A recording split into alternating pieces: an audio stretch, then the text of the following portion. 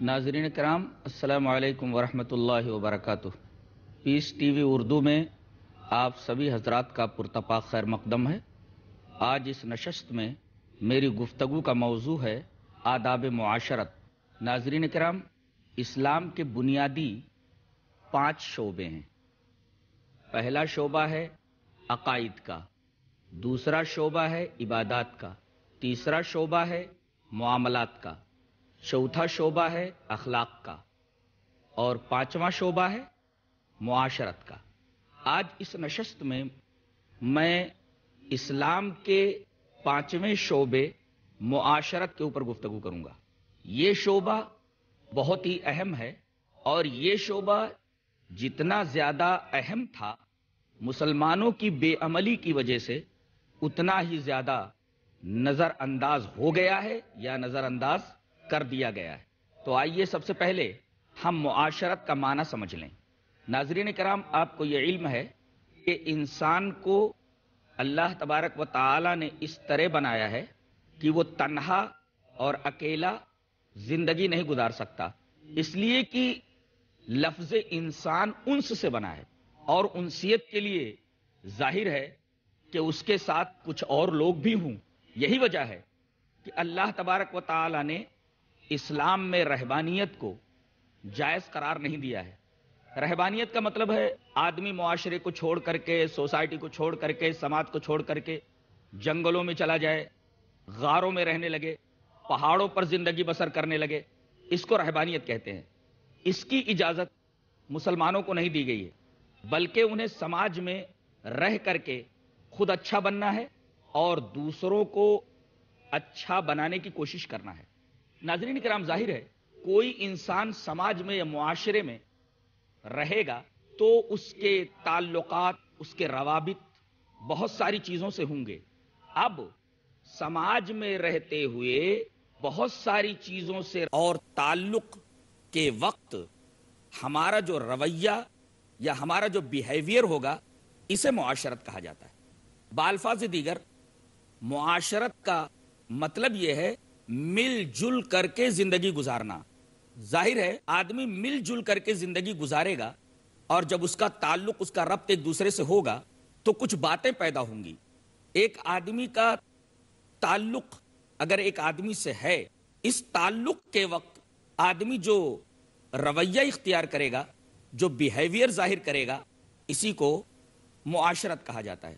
اور ناظرین کرام، یہ شعبہ اتنا زیادہ اہم ہے کہ آپ کو شاید علم ہو کہ اللہ تبارک و تعالی نے پورے قرآن حکیم میں ساٹھ سے زائد مقامات پر نماز کا تذکرہ کیا ہے، مگر اس کی تفصیل نہیں بتائی کہ نماز کس طرح پڑھی جائے۔ بلکہ یہ ذمہ داری نبی کریم صلی اللہ علیہ وسلم کے اوپر ڈال دی گئی کہ اے ہمارے نبی، آپ بتا دیں کہ نماز کس طریقے سے پڑھی جائے۔ دلیل دلیل یہ حدیث پاک۔ وان ابی قلابت حدثنا ابو سلیمان مالک ابن الحویرسی قال قال لنا رسول اللہ صلی اللہ علیہ وسلم صلو کما رأیتمونی اصلی فَإِذَا حَضَرَتِ الصَّلَاةُ فَلْيُوَذِّن لَكُمْ أَحَدُكُمْ وَلْيَأُمَّكُمْ أَكْبَرُكُمْ. رواہ البیحقی فی السنن الکبرى فی کتاب الصلاة. حضرت ابو قلابہ کہتے ہیں کہ ہم سے حدیث بیان کی ابو سلیمان مالک ابن حویرس نے کہ حضرت مالک ابن حویرس فرماتے ہیں کہ ہم سے نبی کریم صلی اللہ علیہ وسلم نے یہ فرمایا کہ تم اسی طریقے سے نماز پڑھو جس طرح تم مجھے نماز پڑھتے ہوئے دیکھتے ہو۔ اور جب نماز کا وقت ہو جائے تو ایک آدمی اذان دے اور ایک آدمی آگے بڑھ کر کے امامت کرے اور دوسرے لوگ اس کی اقتدا میں نماز پڑھیں۔ ناظرین کرام، یہ حدیث بتا رہی ہے کہ قرآن حکیم میں نماز کیسے پڑھی جائے، اس کی تفصیل نہیں بتائی گئی ہے۔ نماز کی پوری تفصیل نبی کریم صلی اللہ علیہ وسلم کے ذمے چھوڑ دی گئی اور یہ کہہ دیا گیا کہ جس طریقے سے نبی کریم صلی اللہ علیہ وسلم نماز پڑھیں تم لوگ اسی طریقے سے نماز پڑھو۔ اتنی اہم عبادت کی تفصیل پورے قرآن میں کہیں نہیں آئی ہے۔ لیکن معاشرت کا ایک مسئلہ استیزان ہے۔ استیزان کا مطلب ہوتا ہے اجازت طلب کرنا۔ جب آپ کسی کے گھر جائیں، رشتہ دار ہو یا آپ کا دوست ہو، تو گھر میں داخل ہونے سے پہلے اجازت طلبی کو استیزان کہتے ہیں۔ اللہ تبارک و تعالیٰ نے صرف ایک مسئلہ جو معاشرت سے متعلق تھا اور وہ مسئلہ استیزان کا تھا اس کی پوری تفصیل نبی کریم صلی اللہ علیہ وسلم کے اوپر نہیں چھوڑی، بلکہ سورہ نور کے اندر تقریباً اللہ تبارک و تعالیٰ نے دو رکو میں اس کی تفصیل فرمائی ہے، جس سے معاشرت کے مسئلے کی اہمیت کا اندازہ ہوتا ہے۔ ناظرین کرام، ایک آدمی جب دوسرے آدمی سے ربط و تعلق رکھے گا، تو ان دونوں کے درمیان اس ربط کی وجہ سے دونوں کے اوپر کچھ ذمہ داریاں عائد ہوں گی۔ اگر دونوں اس ذمہ داری کو نبھاتے ہیں تو یہ اچھی معاشرت ہوگی اور اگر دونوں یہ ذمہ داری اچھی طریقے سے نہیں نبھاتے ہیں تو یہ بری معاشرت ہوگی۔ اسلام میں تو جتنے لوگوں سے انسان معاشرت رکھتا ہے، سب کے ساتھ بہترین سلوک کرنے کا حکم دیا گیا ہے۔ آپ کو سن کر یہ حیرت ہوگی کہ ایک مخلوق ہے جو نور سے بنی ہوئی ہے، جس کو ہم فرشتہ کہتے ہیں، یہ بھی ہمارے ساتھ تعلق رکھتی ہے۔ اس مخلوق کا ہمارے ساتھ ایک تعلق ہے، تو ہمارا یہ فریضہ بنتا ہے کہ ہماری ذات سے اس نوری مخلوق کو بھی کوئی تکلیف نہیں ہونی چاہیے۔ یہ نوری مخلوق ہمارے ساتھ رہتی ہے اور ہماری طرف سے اس کو کوئی تکلیف نہیں پہنچنی چاہیے۔ یہ بات کہاں بتائی گئی ہے؟ امام مسلم رحمت اللہ علیہ، مسلم شریف کتاب المساجد کے اندر وہ روایت لائے ہیں۔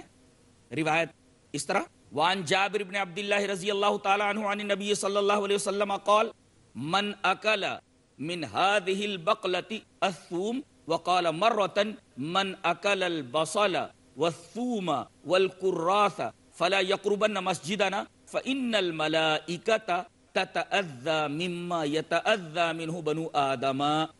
رواہ مسلم فی کتاب المساجد. حضرت امام مسلم اس حدیث پاک کو ایسے کتاب المساجد کے اندر لائے ہیں۔ راوی اس روایت کے حضرت جابر ابن عبداللہ رضی اللہ تعالیٰ عنہ ہیں۔ حضرت جابر ابن عبداللہ رضی اللہ تعالیٰ عنہ فرماتے ہیں کہ نبی کریم صلی اللہ علیہ وسلم نے ارشاد فرمایا کہ اس سبزی کو جس نے کھا لیا، اور ایک بار آپ نے فرمایا کہ جس آدمی نے کچی پیاز کھا لی، جس آدمی نے کچی لہسن کھا لی، جس آدمی نے کچا گندنا کھا لیا، تو جب تک یہ بدبو اس کے منہ میں رہتی ہے، جو ان تینوں چیزوں کے کھانے کی وجہ سے اس کے منہ میں آ جاتی ہے، تب تک وہ ہماری مسجد کے قریب نہ آئے۔ کیوں؟ اس کی وجہ بتائی گئی۔ فَإِنَّ الْمَلَائِكَةَ تَتَأَذَّى مِمَّا يَتَأَذَّى مِنْهُ بَنُو آدم۔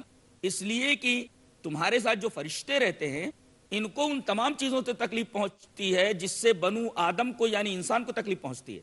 اب کسی آدمی کو اگر سگریٹ کی بدبو پسند نہیں ہے، تمباکو کی بدبو اس کو ناگوار محسوس ہوتی ہے، اس کی بغل میں کوئی آدمی کھڑا ہو جائے، تو اس کے منہ سے جو سگریٹ کی یا تمباکو کی بدبو نکلے گی بغل میں کھڑے ہونے والے آدمی کو اس بدبو سے تکلیف پہنچتی ہے۔ اسی طریقے سے آدمی جب مسجد میں داخل ہوتا ہے تو مسجد میں اللہ تبارک و تعالیٰ کے فرشتے موجود رہتے ہیں۔ اور اس حدیث پاک میں بتایا گیا ہے کہ فرشتوں کو ان تمام چیزوں سے تکلیف پہنچتی ہے جس سے انسانوں کو تکلیف پہنچتی ہے۔ ظاہر ہے کہ آدمی اگر ایسی چیز کھا کر کے گیا ہے جس کی وجہ سے اس کے منہ سے بدبو نکل رہی ہے تو فرشتوں کو اس بدبو سے تکلیف ہوتی ہے۔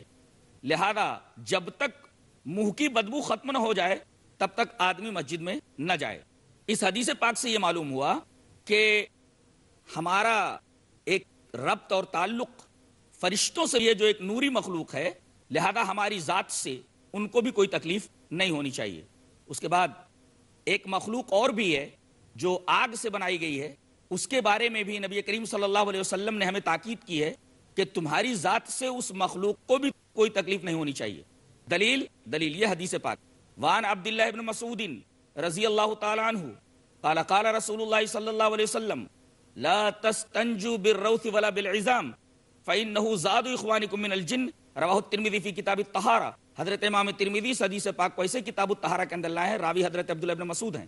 حضرت عبداللہ ابن مسعود فرماتے ہیں کہ رسول اللہ صلی اللہ علیہ وسلم نے ارشاد فرمایا کہ تم لوگ گوبر سے اور ہڈی سے استنجا مت کرو، اس لیے کہ یہ تمہارے جن بھائیوں کا کھانا ہے۔ ظاہر ہے کہ اس سے ان کا کھانا خراب ہو جاتا ہے، لہذا ان تمام چیزوں سے استنجا کرنے سے روک دیا گیا ہے۔ ناظرین کرام، یہاں وقت ہو گیا ایک چھوٹے سے بریک کا۔ ہم جلد ہی آپ کی خدمت میں حاضر ہوتے ہیں انشاءاللہ۔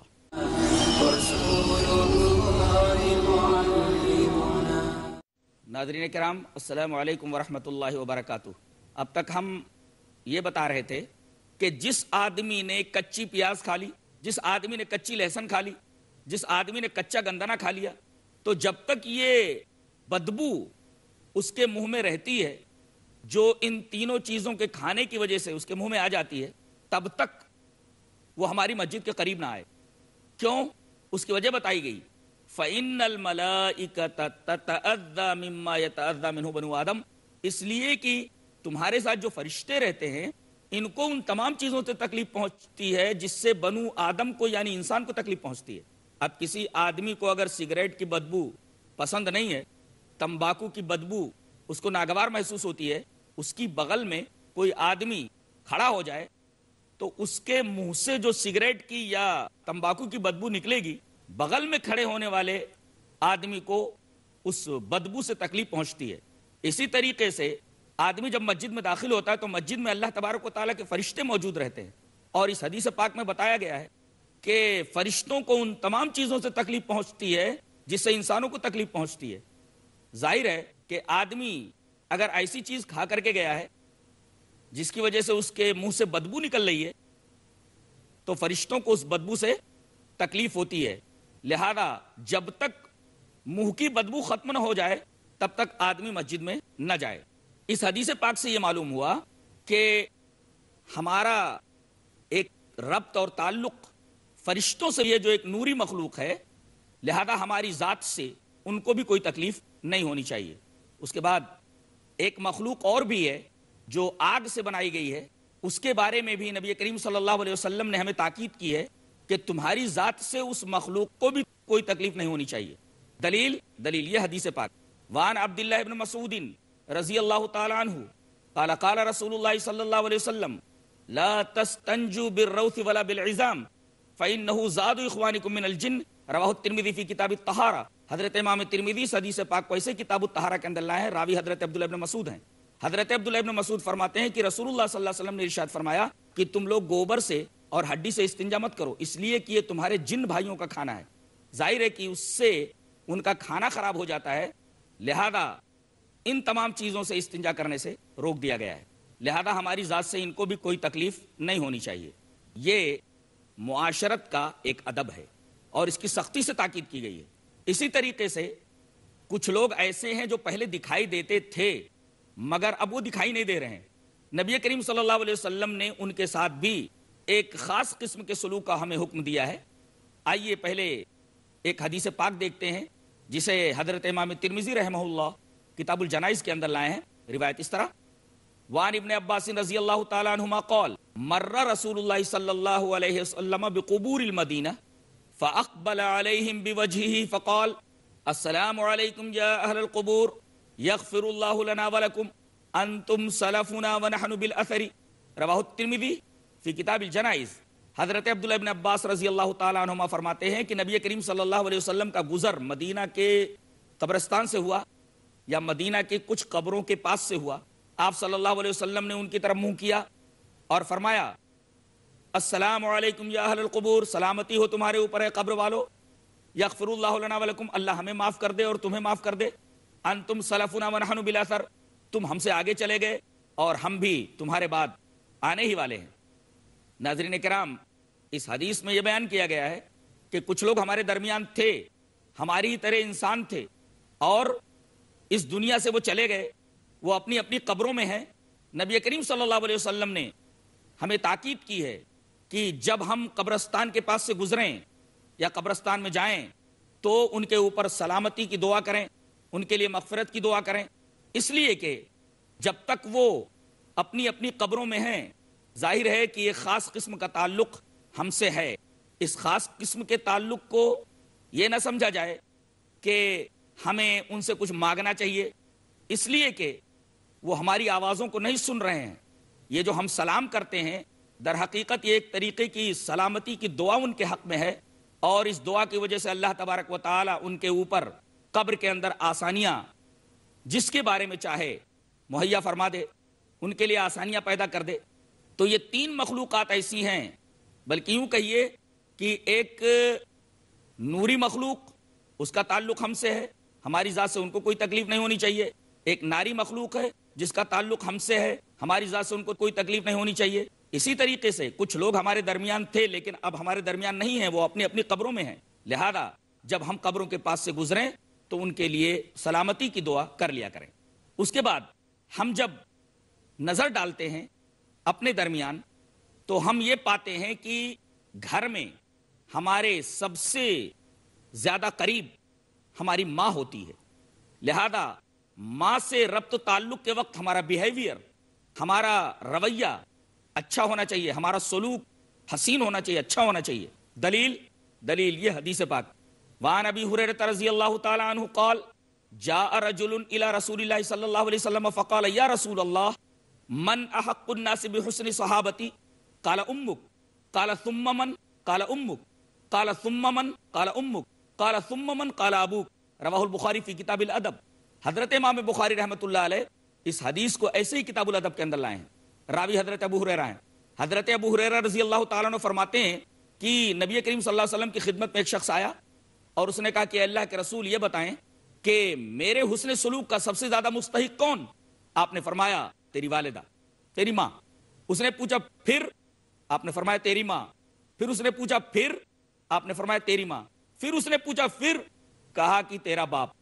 اس حدیث سے یہ پتا چلا کہ باپ کے مقابلے میں ماں کا حق تین درجہ بڑھا ہوا ہے اور ہمارے درمیان سب سے زیادہ قریبی تعلق ہمارا ماں سے ہے اور معاشرت کا تقاضا یہ ہے کہ ہم اپنی ماں کے ساتھ سب سے زیادہ حسن سلوک کریں۔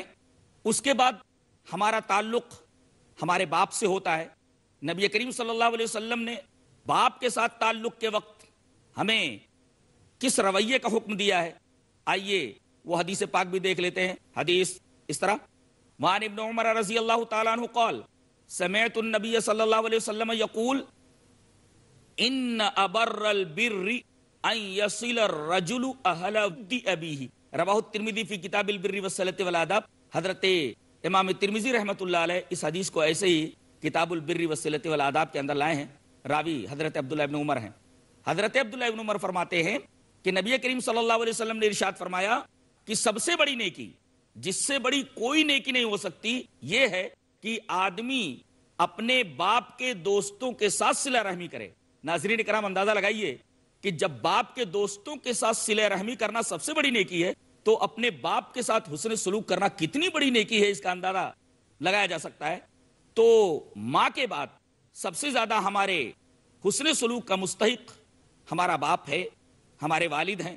اس کے بعد ہم یہ دیکھتے ہیں کہ ہمارا ربط تعلق ہماری بہنوں سے ہوتا ہے، ہماری بیٹیوں سے ہوتا ہے۔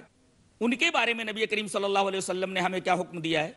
آئیے ایک حدیث پاک دیکھ لیتے ہیں۔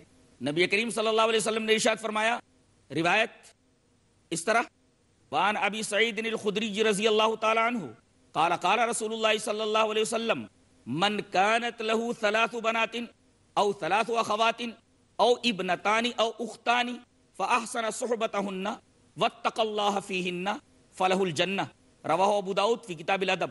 حضرت امام ابی داود اس حدیث کو ایسے کتاب الادب کے اندر لائے راوی حضرت ابو سعید خدری رضی اللہ تعالیٰ عنہ ہیں۔ حضرت ابو سعید خدری رضی اللہ تعالیٰ عنہ فرماتے ہیں کہ رسول اللہ صلی اللہ علیہ وسلم نے ارشاد فرمایا، جس آدمی نے دو بیٹیوں کی پرورش کی یا دو بہنوں کی پرورش کی، ان کے ساتھ اچھا سلوک روا رکھا اور ان کے بارے میں وہ اللہ تبارک و تعالیٰ سے ڈرتا رہا۔ تو بیٹیوں کے ساتھ، چاہے وہ تین بیٹیاں ہوں، تین بہنیں ہوں، دو بیٹیاں ہوں، دو بہنیں ہوں، ان بیٹیوں اور بہنوں کے ساتھ اگر وہ حسن سلوک کرتا ہے اور ان کے بارے میں اللہ تبارک و تعالیٰ سے ڈرتا ہے، تو اللہ کے رسول صلی اللہ علیہ وسلم نے ایسے شخص کے بارے میں فرمایا فلاح الجنہ اس کے لیے جنت ہے۔ ناظرین کرام، آپ نے دیکھا کہ ماں باپ کے بعد ہمارا تعلق ہماری بیٹیوں سے ہوتا ہے، ہماری بہنوں سے ہوتا ہے، ان کے ساتھ بھی ہمیں حسن سلوک کرنا ہے اور حسن سلوک کے نتیجے میں اللہ تبارک و تعالیٰ نے اپنے رسول کے ذریعے ہمیں جنت کی خوشخبری اور جنت کی بشارت سنائی ہے۔ اسی طریقے سے بیٹیوں اور بہنوں کے بعد ہم یہ دیکھتے ہیں کہ ہمارا تعلق ہماری والدہ کی بہن یعنی خالہ کے ساتھ بھی ہوتا ہے خالہ کے بارے میں نبی کریم صلی اللہ علیہ وسلم کی کیا تاکید ہے؟ ایک حدیث کے اندر جسے امام ترمیزی رحمۃ اللہ علیہ کتاب البر وسیلتی والاداب کے اندر لائے ہیں، اسے پیش نظر رکھیں۔ حدیث اس طرح۔ وان البراء ابن عازب رضی اللہ تعالی عنہ عن النبی صلی اللہ علیہ وسلم قال الخالة بمنزلة الام۔ رواہ الترمذی فی کتاب البر والصلة والآداب۔ حضرت برا ابن عازی فرماتے ہیں کہ نبی کریم صلی اللہ علیہ وسلم نے ارشاد فرمایا کہ خالہ بھی ماں کی طرح ہے۔ یعنی خالہ ماں کے منزلے میں ہے۔ جس طریقے سے ماں کے ساتھ حسن سلوک کرنا یہ معاشرت کا ایک تقاضا ہے۔ اسی طریقے سے خالہ کے ساتھ بھی چونکہ وہ ماں کی بہن ہے، نبی کریم صلی اللہ علیہ وسلم نے خالہ کے ساتھ بھی حسن سلوک کا اور اچھی معاشرت کا ہمیں حکم دیا ہے۔ اس کے بعد ہمارا تعلق ہماری بیوی سے ہوتا ہے۔ بیوی کے ساتھ ربط و تعلق کے وقت ہمارا کیا رویہ ہونا چاہیے؟ آئیے ایک حدیث پاک کے اندر دیکھتے ہیں۔ جسے امام ترمیزی رحمۃ اللہ علیہ ابو ابو رضا کے اندر لائے ہیں۔ روایت اس طرح۔ وان ام سلمۃ رضی اللہ تعالی عنہ قالت، قال رسول اللہ صلی اللہ علیہ وسلم، ایما امرات ماتت وزوجها عنها راض دخلت الجنہ رواہ الترمذی فی ابو ابو الرضا حضرت ام سلمہ رضی اللہ تعالی عنہ فرماتی ہیں کہ نبی کریم صلی اللہ علیہ وسلم نے ارشاد فرمایا کہ جو عورت انتقال کر جائے، اس حال میں کہ اس کا شوہر اس سے خوش ہو، اس سے راضی ہو تو ایسی عورت کے بارے میں اللہ کے رسول نے یہ خوشخبری دی کہ وہ عورت جنتی ہے۔ ناظرین کرام، گفتگو اس موضوع کے اوپر جاری ہے۔ تب تک کے لیے ہمیں اجازت دیں۔ السلام علیکم ورحمۃ اللہ وبرکاتہ۔